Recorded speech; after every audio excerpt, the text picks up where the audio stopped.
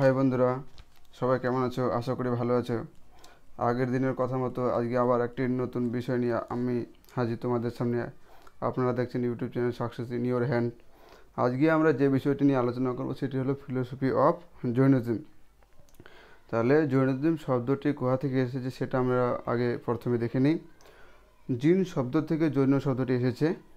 জিন শব্দের অর্থ হলো সিদ্ধ পুরুষ। জিনদের তীর্থঙ্কর বলা হয়।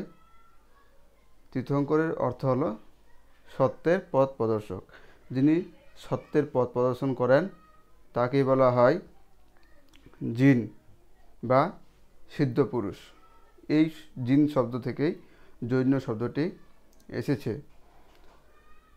এই যারা সত্যের পথ প্রদর্শন করেন তাদেরকে বলা হয় তীর্থঙ্কর পাথ ফাইন্ডার পথ প্রদর্শনকারী, পথ প্রদর্শককারী। এবং এরাই হলো জৈন ফিলোসফির প্রফিট। তো এই তীর্থঙ্করের, তীর্থঙ্কর কয়জন আছে? জৈন ফিলোসফিতে বা জৈন ধর্মে আমরা চব্বিশ জন তীর্থঙ্করের কথা উল্লেখ পাই। প্রথম হলেন ঋষভদেব, উনিশ নম্বরে আছেন মালিনাথ। মালিনাথকে অনেক মনীষী বলেছেন যে এই চব্বিশ জন তীর্থকর তীর্থঙ্করের মধ্যে মালিনাথ একমাত্র ছিলেন, যিনি ছিলেন মহিলা। এবার ত্রয়োদশ বা তেইশতম তীর্থঙ্কর ছিলেন পার্শ্ব পার্শ্বনাথ, আর চব্বিশতম বা শেষ তীর্থঙ্কর ছিল মহাবীর, যেটা আমরা সবাই জানি। অনেক সময় এক্সামে তেইশতম তীর্থঙ্করের নাম চলে আসে বা প্রথম তীর্থঙ্করের নাম চলে আসে। সেই জন্য মূল মূল যে তীর্থঙ্করের নাম এবং কত সিরিয়াল নাম্বার এসেছে সেটা আমি তুলে ধরেছি। এক, উনিশ, তেইশ আর চব্বিশ। এবার যারা জৈন ফিলোসফিটাকে ধর মানে বা যারা জৈন ধর্মে বিশ্বাসী বা জৈন ধর্মে যারা বিশ্বাসী, তাদেরকে দুটো ভাগে ভাগ করা হয়। একটা ভাগ্যে বলা হয় শ্বেতাম্বর, একটা ভাগ্যে বলা হয় দিগম্বর। তাহলে একই ধর্মে বা একই ফিলোসফির মধ্যে দুটো ভাগ হলো কেন? এবং এই দুটো ভাগের মূল ধারণা কী? শ্বেতাম্বর যারা শ্বেতাম্বর সম্প্রদায় অন্তর্ভুক্ত, তাদের, তারা মনে করে বা তারা উদারপন্থী হয়ে থাকে এবং তারা নরমপন্থী হয়। তাদের মতে পুরুষের মতো নারীদেরও মুক্তি লাভ করতে পারে। মুক্তামী, মুক্তকামী, অনাড়ম্বর জীবনযাপনের জন্য উলঙ্গ থাকা নিষ্প্রয়োজন। অর্থাৎ শ্বেতাম্বর সম্প্রদায়ভুক্ত যে জৈন্যরা রয়েছে, তারা মনে করে যে উলঙ্গ থাকা কোনো প্রয়োজন নেই। ব্যক্তি মুক্তি লাভ, তার শুভ্র বস্ত্র পরিধান করেও করতে পারে এবং শ্বেতাম্বরদের মতে নারীরা মুক্তি লাভ করতে সক্ষম। মুক্তিকামী সন্ন্যাস ব্রত গ্রহণ করে শুভ্র বসন পরিধান করা যায়, শ্বেতাম্বররা মনে করে। এরা উদারপন্থী হয়, এরা সাদা বস্ত্র পরিধান করে বা সাদা কাপড় পরে থাকে। শ্বেতাম্বর। কিন্তু দিগম্বর যে সম্প্রদায়, দিগম্বররা কোনো বস্ত্র পরিধান করে না। এরা বিশ্বাস করে যে নারী জাতি বা মহিলারা মুক্তি লাভ করতে পারে না বা মোক্ষ মার্গে পৌঁছাতে পারে না পারে না। এরা বিশ্বাস করে যে কঠোর সাধনার দ্বারাই মুক্তি লাভ করা যায় এবং এরা সর্বস্ব বস্ত্র পরিধান, বর্জন করে থাকে। অর্থাৎ এরা কাপড় পরে না এবং এরা কঠোর প্রাচীনপন্থী হয়। দিগম্বরেরা খুবই প্রাচীনপন্থী হয় এবং এরা জৈন দর্শনের যে মূল ভাবধারা রয়েছে, সেগুলোকে অপরিবর্তনীয় হিসেবে মানতে চায়। এবং যারা শ্বেতাম্বর রয়েছে, তারা অনেকটা সহজ সরলভাবে এই বিষয়টাকে মেনে নেয়। এরা উদারপন্থী আর দিগম্বররা প্রাচীনপন্থী বা কঠোর নিয়ম কারণে এরা বিশ্বাসী। তাহলে এদের মধ্যে এটি হলো তফাৎ। তারপরে আমরা যদি জৈন ফিলোসফিতে মূল যে বিষয়গুলি রয়েছে, সেগুলোকে নিয়ে যদি আলোচনা করি, তাহলে প্রথম যে বিষয়টি পাবো, সেটি হলো ত্রিরত্ন।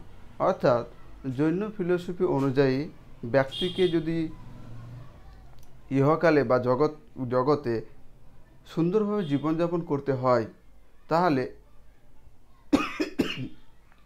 তিনটা বিষয়ে তাকে মেনে চললে তার জীবনটা সচ্ছলতা লাভ করে। যেমন কি রাইট নলেজ সম্যক জ্ঞান রাইট ফেথ সম্যক দর্শন রাইট কন্ডাক্ট সম্যক চরিত্র।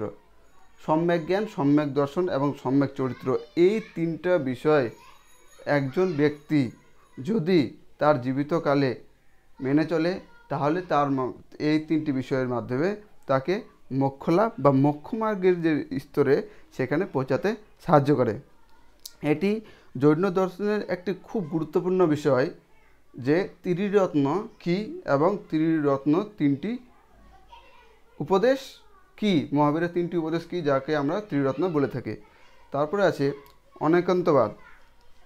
Anekantavada principle of pluralism multiplicity of view point no single point of view is the complete truth example blind man and a elephant অর্থাৎ যে অনেকান্তবাদ মতবাদটা রয়েছে, জৈন ফিলোসফিতে জৈন ফিলোসফিতে সেটি হলো যে কোনো দ্রব্য বা কোনো বস্তু একটা ধর্ম বিশিষ্ট হয় না।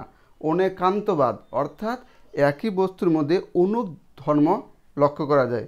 যেমন, আমরা যদি এখানে যে উদাহরণটার কথা বলা আছে blind man and a elephant যদি আমরা একটা অন্ধ মানুষকে একটা হাতির কথা বলতে বলি, তাহলে সে যদি অন্ধ অবস্থায় একটি হাতিকে স্পর্শ করে, সে যদি তার পা ধরে তাহলে পা ধরে ও বলবে, হাতি হলো স্তম্ভের নেই অর্থাৎ থমের মতো। কেউ যদি আবার কান ধরে, তাহলে অনেকে ওই বলবে যে হাতি হলো কিসের মতো? কুলোর মতো। তাহলে কথাটা হচ্ছে যে, আমরা কোনো একটা বস্তুকে একটি বাক্য বা একটি গুণের দ্বারা যাচাই করতে পারি না। এর, এটি হলো তার মূল কথা।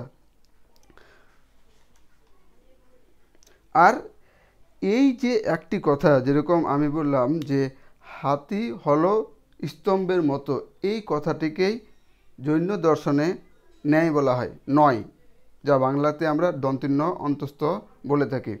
এটি কিন্তু এই এ প্রকার নয়কে পূর্ণ সত্যরূপে গ্রহণ করাকে একান্তবাদ বলে এবং এই একটা বাক্যকে যদি আমরা চিরন্তন সত্য বা সার্বজনীন সত্য হিসাবে মেনে নিই, তখন বাক্যটার মধ্যে যে দোষ লক্ষ্য করা যায়, সেখান সেটাকে বলা হয় একান্তবাদ। অনেকান্তবাদ কি? অনেকান্তবাদ হলো একই বস্তুর মধ্যে অনেক ধর্ম বা গুণ থাকা। কিন্তু অনেকান্তবাদের একটি যে কোনো বাক্যকে যখন আমরা পূর্ণ সত্য হিসেবে ধরে নিই, তখন সেটাকে বলা হয় একান্তবাদ দোষ। অর্থাৎ ওই বাক্যটি একান্তবাদ দোষে লক্ষ্য করে। এবার অনেকান্তবাদ যে উদাহরণটা হলো যে হাতি হলো থমের নেই এই বাক্যটাকে আমরা যদি এরকম লিখি যে হয়তো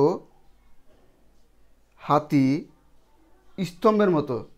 তাহলে কথাটা একান্তবাদে দোষ পড়বে না। কারণ আমরা হয়তো বলেছি, হয়তো হতে পারে না হতে পারে। কিন্তু যদি আমরা এই কথাটাকে এরকম করে বলি বলি যে হাতি হলো স্তম্ভের নেই বা হাতি হলো থমের মতো, তাহলে এই বাক্যটা মধ্যে যে দোষ লক্ষ্য করা যায়, তাকে বলা হয় একান্তবাদ দোষ। তাহলে অনেকান্তবাদ ধারণাটি আমরা লক্ষ্য করলাম। তারপরে আছে স্যাদবাদ এই যে বললাম যে সম্ভবত বা হতে পারে এই যে শব্দটা আমরা আগে লাগাবো যাতে বাক্যটির মধ্যে একান্ত বা দোষ না লক্ষ্য করা যায়, এই যে হয়তো মেবি যদি লাগাই, তাহলে এই যে একটা মূল ধারণা এটাকে বলছে সেদবাদ। The Sanskrit etymological root of term সৎ is perhaps or maybe maybe হতে পারে হতে পারে হাতি, স্তম্ভের মতো। এই কথাটি অর্থাৎ শ্বেত হস্তি, স্তম্ভবৎ। অর্থাৎ হাতি হতে পারে হাতি, স্তম্ভের মতো। তাহলে এখানে একান্তবাদের দোষ লক্ষ্য করা যাচ্ছে না। শ্বেত শব্দটা যদি প্রথমে আমরা লাগিয়ে দিই, তাহলে ওখানে হয়ে গেল মেবি হতে পারে। তারপরে আমরা একটা বাক্য বলব। তাহলে এক্ষেত্রে আমাদের একান্তবাদের যে দোষ লক্ষ্য করা যায়, সেই দোষটা আমরা এড়িয়ে চলতে পারি। তাহলে অনেকান্তবাদ হলে একই বস্তুর মধ্যে অনেকগুলি ধর্ম লক্ষ্য করা যায়, এটাই মূল বিষয়। এবার একান্ত অনেকান্তবাদের একটি যখন বাক্য আমরা বলি এবং সেই বাক্যটি যে দোষ লক্ষ্য করা যায় সেটি হলো একান্তবাদ দোষ। আবার একান্তবাদ দোষ থেকে ওই বাক্যটিকে মুক্ত করার জন্য যখন তার সামনে আমরা শ্বেত শব্দটি বসিয়ে দিই, তখন একান্ত বা দোষ থেকে ওই বাক্যটি মুক্ত হয়ে যায় এবং সেই যে নিয়মটা, সেই নিয়মটাকে বলছে শ্বেতবাদ। তারপরে সপ্তভঙ্গি নয়, এই শ্বেতবাদ শ্বেতবাদ যে মূল ধারণাটি রয়েছে জৈন ফিলোসফিতে, এই শ্বেতবাদের ষাটটি বচন রয়েছে, যার মাধ্যমে আমরা প্রত্যেকটি বাক্য বলার পরেও একান্তবাদ দোষ থেকে আমরা দূরে থাকতে পারি। এইগুলি হলো, শ্বেত অস্থি, শ্বেত নাস্তি, শ্বেত অস্থি নাস্তি, শ্বেত অব্যক্তম, শ্বেত অস্থি অব্যক্তম, শ্বেত নাস্তি অব্যক্তম, শ্বেত আস্তি নাস্তি অব্যক্তম। আমি দুটা বলে দিচ্ছি। এরকম শ্বেত অস্থি। আমি যদি এখানে একটা এক্সাম্পল লিখি, শ্বেত অস্থির অর্থাৎ may be A is B হতে পারে এ বি এর মতো। ঠিক আছে? আবার শ্বেত নাস্তি কীরকম? এটা এটা হাবাচক, এটা নাবাচক। যেমন may be A is not B হতে পারে এ বি এর মতো নয়। একইভাবে এই সাতটি বাক্য মাধ্যমে আমরা সমস্ত বাক্যকে প্রকাশ করতে পারি একান্ত বা দোষ ছাড়াই। তারপরে জৈন দর্শনের যে আরেকটি গুরুত্বপূর্ণ কনসেপ্ট লক্ষ্য করা যায় তা সেটি হলো জৈন অটোমিজম যাকে সংস্কৃত থেকে পুদ্গলবাদ বলা হয়। আমরা অটোমিজম শব্দটির মাধ্যমে দেখতে পাচ্ছি যে এটা পরমাণুর কথা বলছে। It is non living non soul matter অর্থাৎ এটি মধ্যে আত্মা থাকে না বা যেটা, যেটাকে আমরা পদার্থ বলে থাকি। অর্থাৎ জৈন ফিলোসফি পুদ্গলবাদ বা অটোমিজম বলতে বুঝিয়েছেন যে কোনো জড় পদার্থকে যখন আমি, আমরা খুব ক্ষুদ্র ক্ষুদ্র অংশকে ভেঙে ভেঙে ফেলি এবং এমন ক্ষুদ্র অংশে ভেঙে ফেলি যেই ক্ষুদ্র অংশটাকে আর ভাঙা সম্ভব না। ওই ক্ষুদ্রতম অংশটাকে বলা হয় কি? পরমাণু। আমরা ফিজিক্সে দেখেছি সেটাকে বলা হয় পরমাণু। এবং এই পরমাণু সম্পর্কে যে মতবাদটা জৈনিজম বলেছে, তাকে বলা হয় পুদ্গলবাদ। এখানে আমরা দেখছি যে জ্বরের দুটি অবস্থা, সূক্ষ্ম স্থূল। ক্ষিতি অব তেজ ও বায়ুর নিরংশ কণা হচ্ছে সূক্ষ্ম জড় দ্রব্য এবং এইসব দ্রব্যের সংঘাত বা সমাহার হচ্ছে স্থূল জড়দ্রব্য যে কোনো স্থূল জড়দ্রব্যের বিভাগ আছে যেসব বিভাগের আবার বিভাগ আছে। এভাবে কোনো স্থূল জড়দ্রব্যকে ক্রমাগত বিভাগ করতে থাকলে কোনো এক পর্যায়ে এমন কতগুলি অতি সূক্ষ্ম জড়কণা পাওয়া যায় যাদের আর বিভাগ সম্ভব নয়। এইসব অতি সূক্ষ্ম জড়কণাগুলিকেই পুদ্গল বা পরমাণু বলে। জগতের মূল হচ্ছে অসংখ্য পরমাণু, পরমাণুর উৎপত্তি নেই, ধ্বংস নেই। আমি এটা বই থেকে পড়ে শোনালাম। এই কথাগুলি এখানে বলা হয়েছে। অর্থাৎ যেই এই পৃথিবীর সৃষ্টির মূলে যেই সূক্ষ্ম সূক্ষ্ম কণা, যেই সূক্ষ্ম সূক্ষ্ম কণাগুলোকে আমরা আর ভাঙতে পারি না। সেই এক একটি ক্ষুদ্র ক্ষুদ্র কণাকে বলা হয় পরমাণু। এবং এটা যখন ফিজিক্সে আলোচনা হচ্ছে, তখন বলা হচ্ছে অ্যাটমিজম। এটাই আবার জৈন ফিলোসফিতে যখন তাদের মত তাদের মতো করে ওরা আলোচনা করছে, তখন সেটাকে বলা হচ্ছে পুদ্গলবাদ তারপরে আরেকটি গুরুত্বপূর্ণ বিষয় হলো পঞ্চমহাব্রত বা মোক্ষমার্গ। অর্থাৎ এই পঞ্চমহাব্রত পালন করার মাধ্যমে জৈনরা বিশ্বাস করে যে ব্যক্তি মুক্তি লাভ করতে পারে আলটিমেট ভ্যালু অর্জন করতে পারে। আমরা এর আগের দিন ভিডিওতে দেখেছিলাম আলটিমেট এইম জীবনের চরম লক্ষ্য হিসাবে জৈনজম কী স্বীকার করেছিল? আমরা আগে ভিডিওতে দেখেছি, কী স্বীকার করেছিল? মোক্ষমার্গ জীবনের চরম লক্ষ্য হিসেবে স্বীকার করেছিল। তাহলে মোক্ষ লাভ কী করে পাওয়া সম্ভব? এ সম্পর্কে জৈন দর্শন পাঁচটি স্টেজের কথা বলেছে। প্রথমটি হচ্ছে অহিংসা, তারপরে হচ্ছে সত্য, অস্ত্রীয়, ব্রহ্মচর্য অপরিগ্রহ অহিংসা কি? কায় মন ও বাক্যে অহিংস হতে হবে। কায়িকভাবে, মানসিকভাবে বা বাচনিকভাবে কোনো জীবের ক্ষতি না করা, ক্ষতির চিন্তা না করা, ক্ষতিকর কথা না বলাই অহিংসা। এই তিন প্রকার অহিংসাকে বলা হয় ত্রিগুপ্তি। অর্থাৎ কোনো রকম হিংসা মানুষের মধ্যে রাখা যাবে না বা নিজের মধ্যে রাখা যাবে না। কোনো রকম হিংসা। সেটা মানসিকভাবে হোক, সেটা কথার মাধ্যমে হোক, সেটা কাউকে পরোক্ষভাবে হোক, কোনো রকম হিংসা রাখা যাবে না।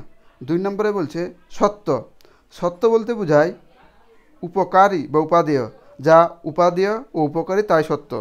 সত্য প্রকৃতপক্ষে অহিংসা ব্রতেরই অন্তর্গত মিথ্যাকে পরিহার করে সত্য কথন, হিতকথন ও প্রিয় কথনে হলো সত্যব্রত। অর্থাৎ সবসময় সত্য কথা বলা, সত্যের পথ অনুসরণ করা, সত্যের সঙ্গ দেওয়া, এই বিষয়গুলি হলো সত্য বা ট্রুথ এই যে সত্য গুণটা সেটাও আমাদের মধ্যে রাখতে হবে বা যে মক্ষমাগ স্তরে পৌঁছাতে চাইবে তার মধ্যে রাখতে হবে। তারা বলছে অস্ত্রীয় not to receive anything which is not freely given বলছে, কোনো কিছু যা মুক্ত অবস্থায় পাওয়া যায় না, তাকে গ্রহণ করা যাবে না। অর্থাৎ ছলে বলে বা, ছলে বলে অপরের সম্পদ গ্রহণ করা বা অধিকার করা হচ্ছে অস্ত্রীয়। আর চাতুরি বা বলপূর্বক অপরের সম্পদ গ্রহণ না করা বা অধিকার না করা হচ্ছে অস্ত্রেয়। অস্ত্রের অর্থ হলো অচর্য, চুরি না করা। অর্থাৎ অন্যের কোনো সম্পদ চুরি না করা বা অন্যের কোনো সম্পদ লুট না করা, এটা হলো অস্ত্রেয়। তারপর বলছে ব্রহ্মচর্য। ব্রহ্মচর্য বিষয়টি হলো যে জৈন দশ নীতিশাস্ত্রে ব্রহ্মচর্য কথাটা ব্যাপকভাবে প্রয়োগ করা হচ্ছে। অর্থাৎ এর অর্থ হলো সর্ববিধ যৌন ব্যাপারের কঠোর সংযম পালন। অর্থাৎ প্রত্যেকটি মানুষের যে যৌন চাহিদা রয়েছে, এই চাহিদাটাকে চরম পর্যায়ে কন্ট্রোল করা বা নিজের নিয়ন্ত্রণের মধ্যে রাখা, এটাকেই বলা হচ্ছে ব্রহ্মচর্য। শেষ স্টেজ কী রয়েছে? বলছে অপরিগ্রহ। বলছে প্রয়োজনের অতিরিক্ত সম্পদ সঞ্চয় না করাই হলো অপরিগ্রহ ব্রত। অর্থাৎ প্রত্যেকটি ব্যক্তি ততটাই সম্পদ তার কাছে রাখবে যতটা তার জীবন ধারণের জন্য যথেষ্ট। মানুষ হচ্ছে এমন এক জীব যার কোনো দিন প্রয়োজন ফুরায় না। কিন্তু জৈন দর্শনে বলা হচ্ছে যে ব্যক্তির জীবন ধারণের জন্য বা বেঁচে থাকার জন্য যতটুকু প্রয়োজন ততটুকুই সে রাখতে পারে। ওর বেশি রাখা যাবে না। এটাই হলো অপরিগ্রহ। তাহলে অহিংসা, সত্য, অস্ত্রীয়, ব্রহ্মচর্য, অপরিগ্রহ এই ছয়টি বিষয় পালন করলে একজন ব্যক্তি মোক্ষমার্গ স্তরে পৌঁছাতে পারে। কার কার অনুযায়ী? জৈন ফিলোসফি অনুযায়ী। তারপরে কি আছে? বলছে, এই জগতে আমরা জ্ঞান অর্জনের জন্য কোন কোন বিষয়গুলোকে আমরা প্রমাণ হিসেবে স্বীকার করব? তো এখানে সিকোয়েন্স দেওয়া আছে, কারণ অনেক সময় কোশ্চেন চলে আসে যে জৈন দর্শনের যে প্রমাণগুলি রয়েছে তাকে কর্মপর্যায়ে আলোচনা করো বা কর্মপর্যায়ে তুলে ধরো। তো প্রথমে আছে মতিজ্ঞান, শ্রুতি, অবধি, মনোপর্যায় আর কৈবল্য। এটা এই এই পাঁচটি হলো প্রমাণ কার জৈন ফিলোসফি অনুযায়ী। এ হলো জৈন ফিলোসফি সম্পর্কে সংক্ষিপ্ত আলোচনা। প্রথম একবার ওভারঅল দেখে নিই জৈন ফিলোসফির চব্বিশ জন তীর্থঙ্কর রয়েছে। তার মধ্যে এক নম্বরে ঋষভদেব চব্বিশ উনিশ নম্বরে মালিনাথ, যিনি একজন মহিলা, তেইশে আছে পার্শ্বনাথ, চব্বিশে আছে মহাবীর। তারপরে জৈন দর্শনে যারা বিশ্বাসী, তাদেরকে দুটো ভাগে ভাগ করা যায়। শ্বেতাম্বর, দিগম্বর, শ্বেতাম্বররা উদারপন্থী হয়, এরা শ্বেত বস্ত্র পরিধান করে, এরা নারীদের মোক্ষমার্গে বিশ্বাসী, এরা সহজ সরল হয়ে থাকে। দিগম্বররা হয় পাতিনপন্থী, এরা বিশ্বাস করে যে নারীরা মুক্তি লাভ করতে পারে না এবং এরা কোনো রকম বস্ত্র পরিধান করে না। মেন কনসেপ্টের মধ্যে ত্রিরত্ন, অনেকান্তবাদ, শ্বেতবাদ, অর্থাৎ অনেকান্তবাদ একই বস্তু, বিভিন্ন ধর্মবিশিষ্ট এবার এই ধর্ম বিশিষ্ট একই বস্তু যখন একাধিক ধর্ম বিশিষ্ট তাহলে একটা বৈশিষ্ট্য যখন আমরা বলে থাকি, তখন বাক্যটির মধ্যে যে দোষ লক্ষ্য করা যায়, তাকে একান্তবাদ দোষ বলে। আর একান্তবাদ দোষ থেকে মুক্তি করার জন্য যে কনসেপ্টটি রয়েছে বা ধারণাটি রয়েছে, সেটাকে বলা হচ্ছে শ্বেতবাদ, অর্থাৎ শ্বেত শব্দটা আমরা আগে বসিয়ে তার যে দোষ রয়েছে, একান্তবাদ দোষ, সেটাকে আমরা অবস্থান করতে পারি। এরকম স্যাদবাদের ষাটটি বাক্য রয়েছে, যে বাক্যগুলির মাধ্যমে আমরা একান্তবাদ দোষ দূর করতে পারি। তারপরে পুদ্গলবাদ দেখলাম, এই পৃথিবীটা কীভাবে সৃষ্টি হয়েছে, এই সম্পর্কে জৈন ফিলোসফি কী আলোচনা করে, যা আমরা ফিজিক্সে দেখেছি অটোভিজম নামে। আর পঞ্চম মহাব্রত, এই পাঁচটি মহাব্রত পালন করার মাধ্যমে একজন ব্যক্তি মোক্ষ লাভ করতে পারে। তারপরে প্রমাণ হিসেবে দেখেছি, এই পাঁচটি প্রমাণ মতি শ্রুতি, অবধি মনে পর্যায়ে কৈবল্য। তারপরে দেখি মানে কী রকমের কোশ্চেন জৈন ফিলোসফিতে হয়ে থাকে। বলছে which of the following is not an aim of education according to Jain philosophy বলছে, জৈন ফিলোসফি অনুযায়ী কোনটি শিক্ষা লক্ষ্য নয়? এখানে আমি এর আগে কনসেপ্ট তুলে ধরেছি সম্যক জ্ঞান, সম্যক সংকল্প, সম্যক দর্শন, সম্যক চরিত্র। তাহলে এর মধ্যে কোনটি, যেহেতু আমরা কী দেখেছি? ত্রিরত্ন দেখেছি, তিনটি। কিন্তু এখানে চারটা আছে। কোনটা এক্সট্রা আছে? ইজ নট কোনটি এখানে হবে না? এটা তোমাদেরকে বার করতে হবে। তারপরে বলছে in which Indian schools of thought consider all knowledge as relative আর বলছে, ভারতীয় কোন দর্শন সমস্ত জ্ঞানকে আপেক্ষিক বলেছেন? আপেক্ষিক, সমস্ত জ্ঞানকে কী বলেছেন? আপেক্ষিক বলেছেন। এখানে বুদ্ধিজম, বেদান্ত, জৈনিজম, ইসলামিক আছে। এর মধ্যে কোনটি ঠিক হবে? আপনারা উত্তর করুন। তিন নম্বর আছে in terms of which of the following epistemological approach knowledge is consider to be multifaceted বলছে বলছে কোন in terms of which of the following epistemological approach বলছে, কোন ইপিস্টেমোলজিক্যাল অ্যাপ্রোচ বা জ্ঞানতত্ত্বে নলেজকে মাল্টিফেসেড বা অনেকান্ত ধর্মের মধ্যে অন্তর্ভুক্ত করা বা একই বিষয়ের মধ্যে বিভিন্ন গুণ লক্ষ্য করা যায়, এই ধারণাটি কোন ধারণার মধ্যে রয়েছে যে একই পদার্থের মধ্যে বিভিন্ন রকম গুণ লক্ষ্য করা যায়, এই যে কনসেপ্টটি সেটি কিসের মধ্যে রয়েছে? যেরকম প্রিন্সিপাল অফ ইসলামিক নলেজ আছে, অনুমান অফ বেদান্ত আছে